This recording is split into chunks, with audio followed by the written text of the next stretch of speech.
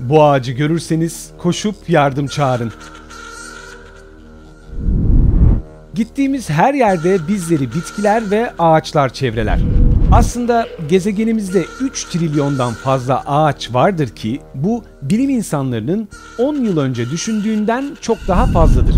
Bu harika bir haber. Çünkü ağaçlar havamızı temizler, su kirliliğini ve toprak erozyonunu önlerler, oksijen üretirler ve bizi sıcak havalarda gölgelerinde serinletirler. Bazılarında biz insanların yararlanabileceği besinler yetişir.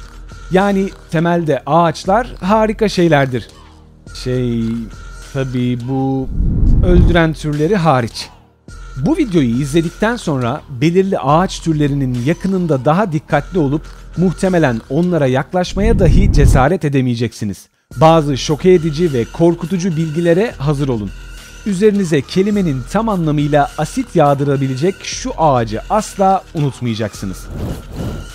Sandbox ağacı. Çok şükür ki bu ağacı fark etmek gerçekten çok kolaydır. Böylece neden uzak durmanız gerektiğini de anlayacaksınız. Boyu 4 metreye yakın, gövdesi koni şeklinde dikenlerle kaplıdır ve meyvesi mini kabakları andırır. Bu ağacın her yanı insanlar için tehlikelidir. Öz suyu bir şekilde gözünüze bulaşırsa kör kalmak gibi korkutucu bir ihtimal vardır. Yanlışlıkla meyvesini yerseniz vücudunuz neredeyse hemen kramp, kusma ve ishalle tepki verecektir. Ve eğer tüm bunlar size bu ağaçtan uzak durmak için yeterli gelmediyse, olgunlaştığında meyvesinin koyu kahverengiye dönüştüğünü ve patladığında tohumlarını saatte 150 mil hızla her yere fırlattığını belirtelim. Bu organik mermilerin yoluna çıksanız ne kadar ciddi şekilde yaralanabileceğinizi siz hayal edin. Kiraz ağacı ve aynı aileden diğer türler. Bu sizin için bir sürpriz olmuş olabilir. Ancak burada herhangi bir hata söz konusu değil. Kiraz ağaçları özellikle küçük çocuklar ve köpekler için son derece tehlikeli olabilir. Kiraz ağacı ailesinden diğer türler içinde şeftali, erik, kayısı, yabani acı kiraz ağaçları bulunur. Hepsi daha sonra siyanüre dönüşen bazı kimyasallar salgılarlar. Özellikle kiraz ağaçlarından bahsedersek bu kimyasalı bitkinin bütününde özellikle de yere düşüp solmuş yapraklar üzerinde yüksek yoğunlukta bulabilirsiniz. Bir çocuk ya da köpek bu ağaçların yapraklarının bir iki tanesini bile yese korkunç bir karın ağrısı çekmeye başlar ve daha fazlasını yerlerse büyük olasılıkla siyanür zehirlenmesine maruz kalırlar. Bu nedenle nabzın zayıflaması, vücutta kasılmalar, idrarın ve diş etlerinin koyulaşması gibi belirtilerle birlikte nefes darlığı fark ederseniz derhal yardım isteyin.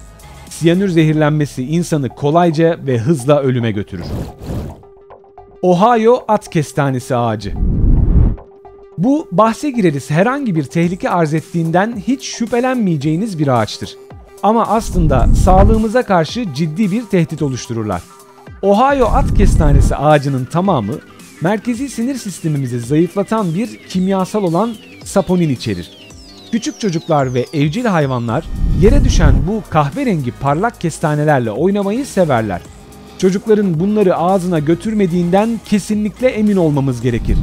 Çocuklar ya da köpekler bu kestaneleri yer ya da çiğnerlerse bu büyük ihtimalle kusmalarına ve ishal olmalarına sebep olacaktır. Evcil hayvanlar nefes almakta zorluk çekebilir ya da tökezleyip sallanmaya başlayabilirler. Evinizin yakınında bir Ohio at kestanesi ağacınız varsa yapacağınız en iyi ve güvenli şey tüm kestaneleri ve ağacının yere düşmüş dal ve yapraklarını toplayıp bunları çocuklarınızın ve evcil hayvanlarınızın erişemeyeceği bir yere kaldırmaktır. Elma ve yaban elması ağacı İşte size biraz daha şok edici bir bilgi daha. Eski dostumuz güvenilir bildiğimiz elma ağaçları aslında hiç de güvenilir değillerdir. Kedi, köpek ve insanlar gibi farklı memeli türleri için zehirli olabilirler. Elma ağaçlarının yaprakları, kökü ve tohumları kiraz ağaçlarında olduğu gibi sindirim sırasında siyanüre dönüşen aynı türden kimyasallar içerir. Yine yere düşmüş yaprakları daldakilerden daha tehlikelidir. Ama kimyasal en çok elma tohumlarında bulunur. İnsanlar için ölümcül doz olan 200 tane elma tohumunu yutmanız veya 20 elma çekirdeğini yemeniz elbette olası değildir. Fakat evcil ve diğer hayvanlar çok fazla elma yerse bu onlar için kolayca ölümcül olabilir. Cerbera odalom ağacı Bu ağacın başka bir adı da intihar ağacıdır. Takma adından da anlaşılacağı gibi bu ağaç can alır. Cerbera odalom ağacı, çaresiz insanların bu ağacın aşırı zehirli meyvesini yiyerek hayatlarına son verdikleri Güney Asya ve Hindistan'da yetişmektedir. Olgunlaşınca meyvesi minyatür mangolara benzer. Bunlar asla yenmemeli ya da ağacına asla dokunulmamalıdır. Ağacın bazı bölümleri deodorant ve böcek ilacı yapımında kullanılır. Ancak bu ağacın saf hali ölümcül olabilir. Manşinel ağacı Karayiplere, Kuzey Amerika'nın tropikal bölgelerine veya Güney Amerika'nın kuzey bölgelerine seyahat ederseniz Kırmızı haçlarla, uyarı levhalarıyla veya üzerlerine boyanmış kırmızı halkalarla işaretlenmiş ağaçlar görebilirsiniz. Şimdi anlatacağımız üzere radyolog Nicholas Strickland'ın yaptığını asla yapmamak ve bu ağaca neden asla yaklaşmamak gerektiğini anlayacaksınız. Dr. Strickland ve bir arkadaşı tropik bir Karayip adası olan Tobago adasında tatildeyken sahilde yabani elmaları andıran hoş kokulu bazı yeşil meyveler buldular. Bir an bile tereddüt etmeden görünüşü çok cazip olan bu meyveden bir ısırık aldılar. İlk duydukları tat sadece birkaç saniye sonra ağızlarında korkunç bir yanma hissine dönüştü. Korkunç olan sadece meyvenin tadının çok fena olması değil. Boğazlarının yutkunamayacak ve neredeyse hiç nefes alamayacakları kadar şişmiş olmasıydı. Mesele şu ki bu şanssız tatilciler ölüm ağacı olarak da bilinen dünyanın en tehlikeli ağacına rastlamışlardı. Bu ağaç o kadar kötü bir şöhrete sahiptir ki 2011 yılında Guinness Rekorlar kitabına girmiştir. Kulağa tuhaf gelse de Manşinel, Noel Yıldızı isimli çok güzel ama biraz zehirli bir çiçekle aynı aileden olan çok türlü sütleyengiller cinsine aittir. Peki ölüm ağacı manşineli bu kadar tehlikeli yapan yanı nedir? Kısaca her yanı diyebiliriz.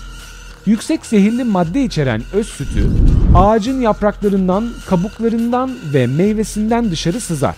Her türlü toksini içerir ama en öldürücü olanı forboldür. Bu organik bileşiğin suda çözünebilir olması nedeniyle yağmurdan kaçmak için bir manşinel ağacının altına sığınmak da sakıncalıdır. Yağmur damlaları öz sütüyle karışıp cildinize gerçekten zarar verip ciddi yanıklara, kabarmalara ve tahrişe neden olacaktır. Bu ağaca rastlarsanız kabuğuna da dokunmayın. Daha önce de belirttiğimiz gibi kabuğu da zehirli özlerle kaplıdır ve cildinize temas ederse körlüğe neden olabilir. Ateş yakmak için elinizde başka bir şey olmasa bile manşinel ağacının dallarını yakmayın. Dumanı kesinlikle göz iltihabına ve hatta geçici körlüğe yol açacaktır. Ama yapabileceğiniz en tehlikeli şey zehirli guavayı yemektir. Bu manşinel ağacı meyvesinin takma adıdır. Vakaların büyük çoğunluğunda bu dikkatsizlik ölümlere sebep olmuştur. Çünkü korkunç ishal ve şiddetli kusma vücudu geri dönüşü imkansız hale sokacak kadar sıvısız bırakır. Dahası meyvesini yutmayıp sadece ufacık bir parça ısırmış olsanız bile özü boğazınızı ve ağzınızın iç kısmını kaplayarak ağrılı bir yanmaya yol açar. Neyse ki Nicholas Strickland ve arkadaşı zehirli elmanın çoğunu yiyebilecek zamanları olmadığından neredeyse ölüme yakın bu deneyimden sağ kurtuldular. Ancak kendilerine ne olduğunu anlattıklarında Nikola yerlilerin yüzlerinde dehşet dolu bir ifade oluştuğunu fark etmişti. Turistler çok şanslıydı çünkü 8 saat süren yoğun bir acıdan sonra boğazlarındaki şiş inmişti. Şimdi orada oturmuş iyi de yerliler neden tüm ağaçları kesmiyorlar diye merak ediyorsanız evet bu makul bir soru ama olay bundan daha karmaşık. Manşinel ağaçlarının ekosistemde çok önemli bir rolü vardır. Örneğin yoğun çalılıklar halinde yetiştikleri için Orta Amerika sahillerini erozyona karşı korurlar ve rüzgar kırıcı olarak hizmet ederler. Bu videoda bahsedilen tehlikeli ağaçlar yüzünden başınıza bir şey geldi mi? Bize aşağıdaki yorumlarda bahsedin. Hayata olumlu bakarak kanalımıza abone olmayı unutmayın.